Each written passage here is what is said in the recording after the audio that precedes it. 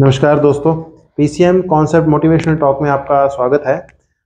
आज हम फिज़िक्स का अगला टॉपिक शुरू करने जा रहे हैं, जिसका नाम है वर्क एनर्जी एंड पावर तो इसमें हम आज मैं आपको ओवरव्यू बता देता हूँ और आज हम वर्क शुरू करेंगे। तो इसमें ओवरव्यू हम क्या क्या डिस्कस करने वाले हैं, इसमें हम डिस्कस करेंगे work work by constant force by variable force work positive work done कैसे कहते हैं नेगेटिव वर्क डन या ज़ीरो वर्क डन किस केस में होता है कंजर्वेटिव फोर्स के द्वारा किया गया work done non conservative force के द्वारा किया गया work done kinetic energy energy में हम डिस्कस करेंगे kinetic energy potential energy work energy theorem conservation of energy discuss करेंगे। वर्क में ही जहाँ हम फोर्स डिस्कस कर रहे हैं तो हम जैसे मैंने बताया कंजर्वेटिव नॉन कंजर्वेटिव फोर्स का वर्क डन कैसा होगा वो डिस्कस करेंगे। साथ ही जो पोटेंशियल एनर्जी है पोटेंशियल एनर्जी की कंजर्वेटिव फोर्स के साथ कैसा रिलेशन रहता है, वो हम डिस्कस करेंगे। Conservation of energy mechanical energy kinetic plus potential वो कब होना है, उसके स्पेशल केसेस क्या हैं, वो हम डिस्कस करेंगे।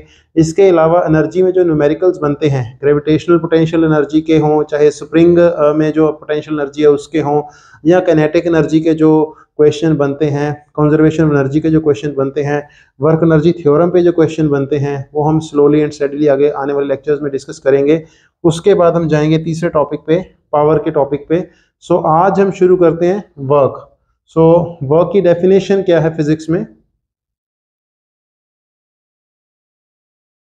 फ्रेंड्स वर्क की डेफिनेशन है W is equal to F dot S means work is is equal to force dot displacement अगर किसी ऑब्जेक्ट के ऊपर फोर्स एफ़ लग रही है तो उसका जो हॉरिजॉन्टल कंपोनेंट है along the direction of displacement जो है लेटर से ये ऑब्जेक्ट है, यहाँ पे मैं अगर एफ़ फोर्स लगा रहा हूँ, और डिस्प्लेसमेंट मेरी इस तरफ़ है तो जो इसका कंपोनेंट टुवर्ड द डिस्प्लेसमेंट होगा, अगर मैं दोनों को मल्टीप्लाई कर दूँ F cos theta into displacement this will give me work done by force F this w is work done by force f and this is equal to f s cos theta and this will become f dot s so this is a dot product since it is a dot product of two vector quantities so work is a scalar quantity work scalar quantity है मैं इसके positive work done negative work done zero work done कब कब होगा वो एक बार discuss कर लेते हैं सो so फ्रेंड्स आपको पता है work is equal to F dot S it means F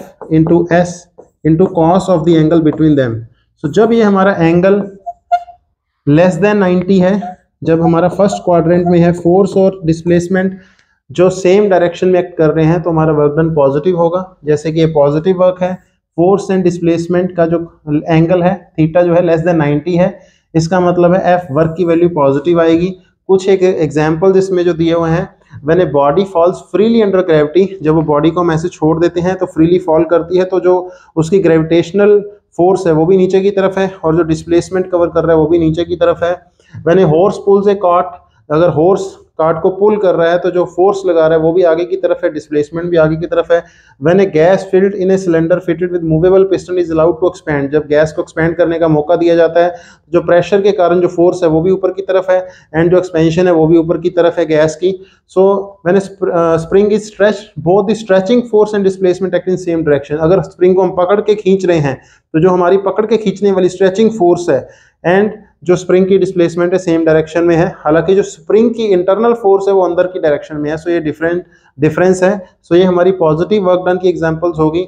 अगर ज़ीरो वर्क डन की बात करें तो ये अगर थीटा 90 डिग्री है if theta is 90 degree then in that case work done will be zero जैसे कि सर्कुलर मोशन में सेंट्रीपिटल फोर्स हमेशा सेंटर की तरफ़ एक्ट करती है एंड डिस्प्लेसमेंट हमेशा 90 डिग्री है because that is along the tangent of the circle so वो हमेशा टेंजेंट की लाइन की तरफ़ है. सो so, अगर एंटी क्लॉकवाइज मोशन है तो ये आप देख सकते हैं centripetal force towards the centre अगर क्लॉकवाइज मोशन है तभी centripetal force towards the centre displacement की डायरेक्शन उसमें नीचे हो जाएगी.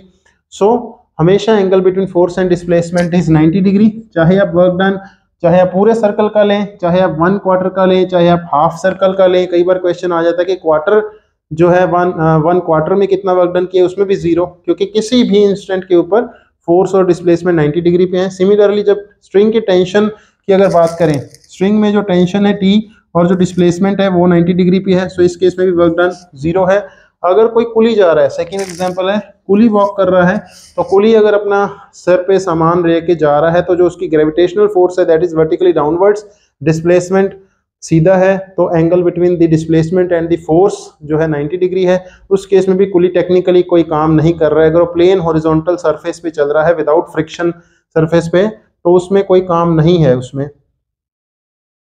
नेक्स्ट अगर हम नेगेटिव वर्क डन की बात करें when theta is more than 90 degree when theta is more than 90 degree then इसको नेगेटिव वर्क डन कहेंगे।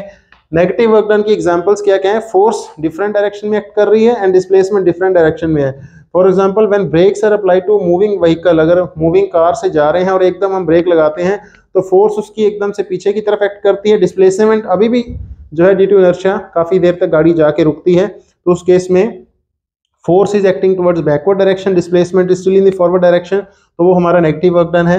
मैंने बॉडी इज़ लिफ्टेड जैसे मैंने यहाँ पे बताया था, अगर बॉडी फ्री फॉल कर रही है ग्रेविटी के तहत बॉडी को अगर नीचे जा रही है तो उसका वर्क डन ग्रेविटेशनल फोर्स का पॉजिटिव है, लेकिन अगर हम ऊपर फेंक रहे हैं तो ग्रेविटेशनल फोर्स उसको जो है नीचे खींच रहा है मैंने body is lifted work done by gravitational force is negative क्योंकि ग्रेविटेशनल फोर्स नीचे खींच रहा है एंड जो डिस्प्लेसमेंट है, वो ऊपर की तरफ़ है so body is lifted work done by gravitational force is negative this is because gravitational force acts vertically downwards while the displacement is vertically upward direction so इसी तरह a positive charge is move toward another positive charge work done by force of repulsion between them is negative so अगर हम जानबूझ के दो positive charges को move करेंगे हम इलेक्ट्रोस्टैटिक के टॉपिक में हम पढ़ेंगे प्लस टू का जो फिजिक्स है तो वहाँ पे हम देखेंगे ये वर्क डन भी नेगेटिव है। सो so, ये हमारे तीन केस हो गए positive work done zero work done and negative work done आगे हम वर्क के जो है बेसिक्स डायमेंशंस देख लेते हैं यूनिट्स देख लेते हैं। सो अगर डायमेंशंस की बात करूँ फोर्स के हो गए M L T minus two and distance के हो गए एल सो वर्क के हो गए हमारे M L two T minus two ये हम डायमेंशंस के टॉपिक में भी कर चुके हैं. यूनिट्स हो गए हमारे इसका फोर्स का न्यूटन हो गया न्यूटन एंड इसका हो गया मीटर. सो so, इसके हमारे यूनिट्स हो गए joule one joule is equal to one newton into one metre named after British physicist James Prescott Joule सो उनके नाम पे इसको यूनिट को जाउल नाम दिया हुआ है. जाउल जो है आग के साथ इसका कैसा रिलेशन है? Erg is C G S unit so one joule is equal to one newton to one metre और न्यूटन का ten raise to the power five dyne हो गया। Ten to ten raise to centimetre. So one joule is equal to ten raise to the power seven erg. ये S I और सी G S system का जो हमारा दोनों का relation हो गया। उसके बाद अगर ग्रेविटेशनल यूनिट्स की बात करें तो हमारा ग्रेविटेशनल यूनिट फोर्स का होता है kilogram weight kilogram weight into one metre kilogram weight newton से कैसे कनेक्टेड है? Kilogram weight is equal to 9.8 newton. So one kilogram metre is equal to 9.8 joule so so, जो इसके ग्रेविटेशनल यूनिट्स हैं और जो एस यूनिट्स हैं वो आपस में कैसे कनेक्टेड है? One kilogram metre is equal to 9.8 joule and similarly one gram metre is equal to 980 ergs so ये आप आ, आराम से इसको समझ सकते हैं यूनिट्स एंड डायमेंशंस कुछ एक क्वेश्चंस ले लेते हैं वर्क के जो प्रीवियस पेपर्स में आए हुए हैं। बड़े सिंपल क्वेश्चन से आज हम शुरू करते हैं वर्क का जो टॉपिक है। एंड धीरे धीरे हम टफ क्वेश्चंस की तरफ़ जाते हैं। आइए वर्क के कुछ सिंपल क्वेश्चन लेते हैं फ्रेंड्स एक क्वेश्चन ट्राई करते हैं जिसमें कि कांस्टेंट फोर्स दी हुई है फोर्स जो है दी हुई है that is two I cap minus six J cap newton and जो डिस्प्लेसमेंट है force F is equal to this is applied on a body which is sliding over a floor. If the body is displaced through minus 3 j cap meter, how much work is done by this force? Very simple question. हमें F दिया हुआ है F is equal minus six J newton and displacement S vector is equal to minus three J into metre so ये हमें दो चीज़ें दी हुई हैं। सो फ्रेंड्स जब फिक्स्ड फोर्स है when force is fix then work done is given by W is equal to F dot S और अगर मान लो एफ़ जो वैक्टर है, उसके कॉम्पोनेंट्स अगर F X into I plus F Y into J plus F Z into K cap हैं and S के अगर कंपोनेंट्स में करूँ let us say S X I S Y J S Z K cap है. So F dot S कितना होगा? W is equal to I को I component वाले के साथ multiply F X S X plus F Y S Y plus F Z S Z so इस case में ये कांस्टेंट फोर्स है. इस केस में हमारे एफ़ एक्स एक्स कॉम्पोनेंट इस साइड में ज़ीरो है. So two into zero zero यहाँ पे आ गया हमारा माइनस सिक्स इंटू यहाँ पे जे कैप है minus three into minus three so that is equal to eighteen joule so इसका आंसर है एटीन जाउल सो so, हमने बड़ा सिंपली इसको सॉल्व कर लिया। अब ये क्वेश्चन था फ्रेंड्स जहाँ पे फोर्स फिक्स है। अगर फोर्स वेरिएबल है उस केस में वेरिएबल फोर्स का वर्क डन कैसे होगा? फ्रेंड्स ये फोर्स है यहाँ पे फोर्स वेरी कर रही है। F is equal to a plus b x x on a particle in x direction where a and b are constant find work done by this force during displacement from x zero to x is equal to d so किसी भी तरह की एक straight line force है F is equal to a plus b into x so force जो है vary कर रही है विद डिस्टेंस सो इस केस में हमारा वर्क डन कैसा होगा? That is equal to F d x from x one to x two so हम इंटीग्रेशन कर देंगे. Means F into d x का इंटीग्रेशन और अगर इसको सिंपल शब्दों में कहा जाए तो लेटर से कोई भी कर्व है लेटर से इस प्रकार की कोई भी कर्व है, ये फोर्स है, ये डिस्प्लेसमेंट है. So area under the curve from x one to let us say x two So area under the curve of force and displacement will give us the work done. So इस case में हमारा displacement है zero to D so इस case में हमारा हो जाएगा simple work done is zero to d. Force हमारी है a plus b x d dx, और यहाँ से हम solve करेंगे तो ए एक्स आ जाएगा। ax लिमिट्स है हमारी zero to d plus b into x square by two so इसकी लिमिट्स है हमारी ज़ीरो टू डी सो ये हमारा आंसर आ जाएगा is equal to a d plus b d square by two so ये हमारा वर्क डन आ गया। So work done by variable force का मैंने आपको समझाना था। Work done by variable force is given by area under force distance का एंड इसका फॉर्मूला क्या होगा? Force into displacement F d x from x one to x two ये हमारा वेरिएबल फोर्स का हो गया। इसका एक और क्वेश्चन ट्राई करते हैं। आइए ट्राई करें। सो so फ्रेंड्स ये क्वेश्चन ट्राई करते हैं। Body moves from point a to point b under the action of a force as shown in figure ये फोर्स कुछ इस प्रकार की है कि पहले डिस्प्लेसमेंट के हिसाब से ये कांस्टेंट है। उसके बाद ये बढ़ती है, उसके बाद ये कम होती है बट ओवरऑल पॉजिटिव रहती है। फोर्स कहीं भी नेगेटिव डायरेक्शन में मूव नहीं करती सो एरिया ओवरऑल पॉजिटिव है। हमें अगर फोर्स लेटर से क्रॉस करके नीचे चली जाती तो उसका एरिया नेगेटिव हो जाता। अब हमारा एरिया ओवरऑल पॉजिटिव है, हमें फाइंड करना है what is the amount of work done so amount of work done is area under this curve so area under this curve का मतलब हो गया इस एरिया प्लस इस एरिया प्लस इस एरिया प्लस इस एरिया को हमने जोड़ना है सिंपली ऐड करना है। सो अगर मैं बात करूँ area between let us say W is equal to जो हमारा टोटल वर्क डन है that is equal to work done between one to two plus work done between two to three plus work done between three to four plus work done between four to five ये मैंने अपने easy करने के लिए लिख लिया है। अगर work done between one to two की बात करूँ work done between one to two is ये हमारा हो गया रेक्टेंगल इसका लेंथ इनटू ब्रेथ हो गया हमारा two into one that is two joule work done between two to three two to three का अगर मैं वर्क डन कैलकुलेट करना चाहूँ, मेरे पास कई तरीके हैं और सिंपल तरीका है। लेटर से मैं इसको रेक्टेंगल मान के प्लस इसको ट्रायंगल मान के कैलकुलेट कर लूँ। सो ये हमारा, इसका एरिया हमें पता है टू है। सो इसका एरिया हो गया टू प्लस जो ट्रायंगल है, उसका बना one by two into base base is one into perpendicular perpendicular is from two to four so two two to four means two so ये हमारा काट के आ गया one so this implies two plus one that means three joule so ये three joule हो गया. Similarly from three to four work done कितना है? Three to four work done ये उसका इतना ही आ गया टू प्लस उसमें उसमें हम ये वाले ये वाला रेक्टेंगल ले सकते हैं.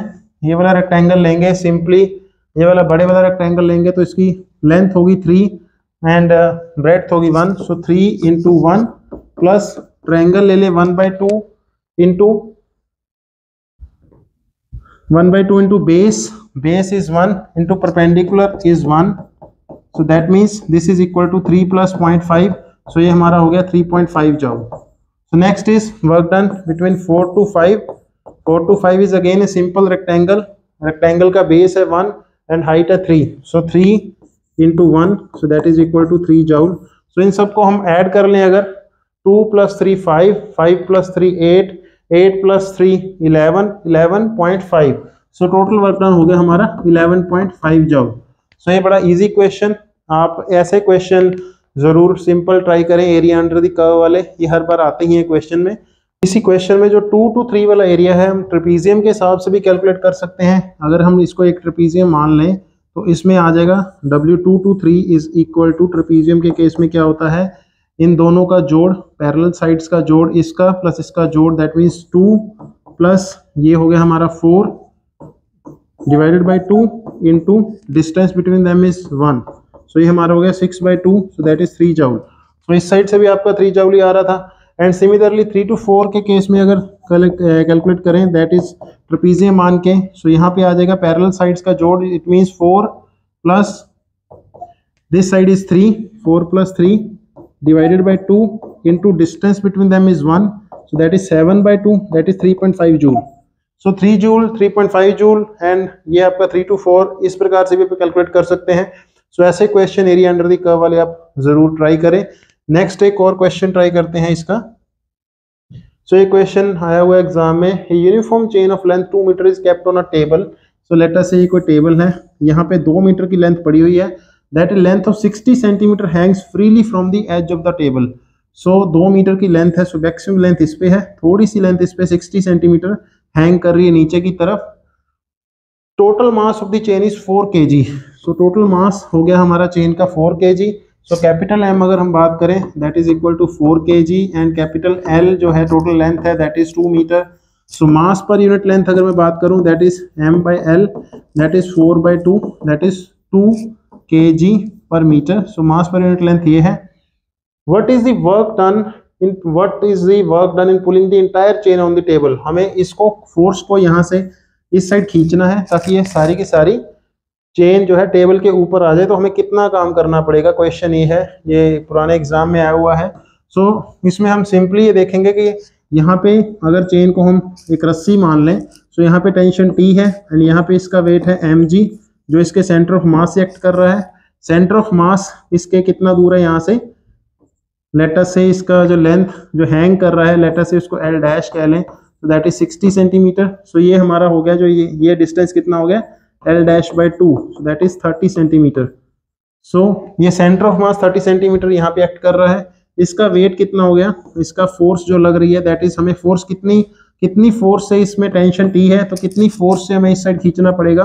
Force is equal to tension t and tension t कितना है? That is equal to its weight weight कितना है? Mass per unit length that is two into इसकी लेंथ कितनी है? Sixty centimetre sixty by hundred into g g की value इसने कह दिया टेन ले सकते हैं। सो so, ये मास पर यूनिट लेंथ इंटू जी ये हमारा वेट एक्ट कर रहा है। सो so, कम से कम हमें इतनी फोर्स लगानी पड़ेगी। That is equal to twelve newton so force कम से कम कितनी चाहिए होगी? ट्वेल्व न्यूटन वर्क डन कितना करना पड़ेगा? Work done is force into displacement displacement हमें इसका सेंटर ऑफ़ मास को इसको एक पॉइंट मास मानते हुए इसका सेंटर ऑफ़ मास को हम ऊपर खींचेंगे। द डिस्प्लेसमेंट है thirty by hundred so this will become 3.6 joule so ये इतना हमें वर्क डन जो है इस केस में करना पड़ेगा इसको पूरे के पूरे को ऊपर खींचने के लिए। सो एक जेई मेन्स 2022 का जो लास्ट ईयर क्वेश्चन आया है एक वो ट्राई करते हैं। बॉडी ऑफ़ मास 0.5 फाइव के जी हमें 0.5 five k g travels on a straight line with velocity three x square plus four metre per second work done by this force during displacement x is equal to zero to x is equal to two ये चार option दी हुई हैं हमें। So so, हमें इस बार velocity दी हुई है। सो so, वेलोसिटी इसकी जो है वेरी कर रही है डिस, डिस्प्लेसमेंट के साथ three x plus four three x square plus four metre per second और हमें वर्क डन निकालना है। सो so, एक तो तरीका है जो हम बाद में करेंगे that is change in kinetic energy kinetic energy final minus kinetic energy initial is equal to work done लेकिन अभी मैं उस तक पहुँचा नहीं हूँ सो मैं एक बेसिक मेथड से ट्राई करते हैं। आपको पता है वर्क डन का क्या हो गया? Force into displacement F d x क्योंकि यहाँ पे वेलोसिटी है तो हम इसको ले सकते हैं। एफ़ की वैल्यू होगी एम इंटू ए अगर मैं इसको सिंप्लीफाई करके लिखूं m into a into d x a की जगह मैं लिख सकता हूँ d v by d t into d x so d x को अगर मैं डी टी इसके नीचे ले जाऊँ सो ये बन जाएगा हमारा M into V into D V तो बेसिकली वो कनेटिक एनर्जी का भी जो हम फॉर्मूला देखेंगे वर्क एनर्जी थ्योरम वो यहीं से आती है। इन्हीं स्टेप्स के थ्रू हम जो डिराइव करेंगे नेक्स्ट लेक्चर में यहीं से डिराइव करेंगे। सो so, मैं यहाँ पे आपको स्टेप वाइज बता रहा हूँ कि F dot d x F dot d x में ए डॉट डी एक्स और ए को मैंने लिख लिया d v by d t और डी टी को मैंने डी एक्स के नीचे लगा दिया तो ये बन गया हमारा d x by d t is equal to v बन गया। D x by d t हमारा because v is equal to d x by d t होता है। सो so, वी मैंने लिख लिया d x by d t और यहाँ पे डी वी आ गया। सो so, यहाँ पे मेरे को वी पता है। सो so, वी पता है तो मेरे को डी वी में कैलकुलेट कर सकता हूँ। That is equal to six x d x so मेरे को d v and d x का मेरे को रिलेशन पता है। सो so, मैं यहाँ पे वैल्यूज़ पुट कर दूँगा। M की वैल्यू है one by two into integral v की वैल्यू होगी three X square plus four into six X D X and x varies from zero to two so ये आपका सिंपल इंटीग्रेशन है। इसके बाद आपके वर्क की वैल्यू आ जाएगी। सो मैंने आपको सिंपल तरीके से डेरिवेशन करके दिखा दी। Otherwise kinetic energy final minus kinetic energy initial से हम वर्क डन निकाल सकते हैं। कनेटिक एनर्जी में हमें एक्स की वैल्यू ज़ीरो पुट करें हमें इनिशियल वेलोसिटी आ जाएगी। X is equal to two put करें हमें फाइनल वेलोसिटी आ जाएगी। सो so, वहाँ से half M V square final minus half M V square initial और वहाँ से भी वर्क डन आ जाएगा। लेकिन ये हमने बेसिक तरीके से निकाल लिया। दिस इज़ इक्वल टू यहाँ पे आ गया one by two into six बाहर आ गया थ्री सो इंटीग्रेशन में हो गया ज़ीरो टू टू एंड यहाँ पे हो गया three X Q plus four X into D X इसको सिंपल तरीके से हम सॉल्व कर लेंगे. This will become integration three into यहाँ पे थ्री एक्स क्यूब का हो जाएगा three by four into X raise to the power four plus यहाँ पे आ गया हमारा four by two into X square and limits है हमारी ज़ीरो टू टू लिमिट्स की वैल्यू पुट कर देंगे यहाँ पे. ये कैंसिल हो गया हमारा टू एंड यहाँ पे हमारा आ गया थ्री इंटू एक्स स्क्वायर अगर मैं कॉमन ले लूँ एंड वैल्यू पुट कर दूँ, ये बन जाएगा थ्री इंटू फोर एंड यहाँ पे आ गया हमारा three by four into two raise to the power two two raise to the power two is four plus यहाँ पे हमारा है टू ये हमारा सॉल्व हो गया इजीली सो ये हमारा बन जाएगा three plus two five three plus two five into twelve sixty so ये हमारा हो गया sixty joule so B is the answer so आप इस तरीके से कर सकते थे। अदरवाइज़ आप कैनेटिक एनर्जी फाइनल कैलकुलेट कर लीजिए। That is equal to half into M into V का स्क्वायर वी हमारी फाइनल वैल्यू पे कितनी है? V final X is equal to two put करेंगे। That is three into two का square plus four this will become four into three twelve plus four sixteen and V initial कितना है? X is equal to zero that is four so kinetic energy final हमारी हो गई half into M into V का square means sixteen square and kinetic energy initial कितना हो गया हमारा? कैनेटिक एनर्जी इनिशियल हो गया half into M into V initial V initial is four into four का स्क्वायर सो इन दोनों का अगर डिफरेंस कर ले kinetic energy final minus kinetic energy initial.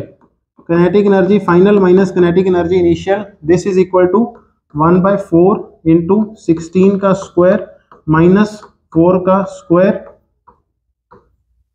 सो आप ये देखेंगे फ्रेंड्स इसकी वैल्यू भी आपकी 60 जूल आएगी आप इसको सॉल्व करके देख सकते हैं। ये आपका वर्क डन जो आएगा, ये इस तरीके से भी 60 जूल ही आएगा। आप इसको सॉल्व करके देख सकते हैं, ये आपकी वैल्यू 60 जूल ही आएगी।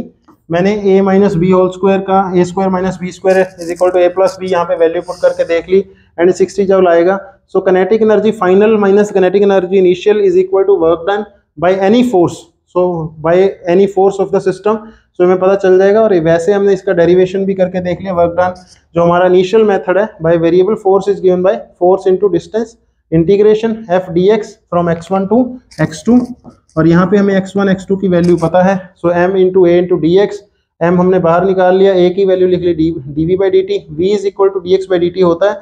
सो हमने D X by D T की वैल्यू यहाँ वी रख ली। V into D V D V D V का हमने वैल्यू निकाल ली डी एक्स में। वी की वैल्यू लिख ली। D V is equal to six into X into D X and X की वैल्यूज़ हमने पुट करके यहाँ से सिक्सटी जल्द निकाल लिया। एंड दूसरे तरीके से हमने वर्क एनर्जी थ्योरम जो हम आगे पढ़ेंगे, वहाँ से भी मैंने प्रूव कर दिया kinetic energy final minus kinetic energy initial is equal to work done so next lecture में हम और क्वेश्चन ट्राई करेंगे, इसके और कॉन्सेप्ट जो मैंने सबसे पहले आपको बताया। सो नेक्स्ट लेक्चर में हमने जो आज पढ़ा है कांस्टेंट फोर्स का वर्क डन कैसे निकालना है वेरिएबल फोर्स का वर्क डन कैसे निकालना है, हमने आज सीखा positive work done negative work done zero work done conservative non conservative force का वर्क नेक्स्ट लेक्चर में पढ़ेंगे। उसके अलावा kinetic energy potential energy work energy theorem कैसे डिराइव करनी है, वो हम नेक्स्ट लेक्चर में देखेंगे। पोटेंशियल एनर्जी कंजर्वेटिव फोर्स का क्या रिलेशन है, वो हम देखेंगे। कंजर्वेशन ऑफ़ एनर्जी कहाँ कहाँ पे वैलिड है, वो हम नेक्स्ट टॉपिक में देखेंगे एंड पावर देखेंगे। एंड आने वाले कुछ लेक्चर्स में, दो या तीन लेक्चर्स में हम इनके वेरियस क्वेश्चंस जो मेंस में आए हैं या जो जो हमारे एडवांस में आए हैं या जो नीट में आए हैं या और पिछले जो एग्ज़ाम्स रहे हैं उनमें जो आए हैं तो हम ट्राई करेंगे। तो आप बने रहिए चैनल के साथ एंड पढ़ाई करते रहें। हाँ, उम्मीद है आपके जेई मेंस के जो एग्ज़ाम हुए हैं अच्छे हुए होंगे। एंड आप आपके बोर्ड के एग्ज़ाम आ रहे हैं उसकी भी आप अच्छे से तैयारी करें ढेरों तैयारी करें। मेरी शुभकामनाएँ आपके साथ हैं। नमस्कार।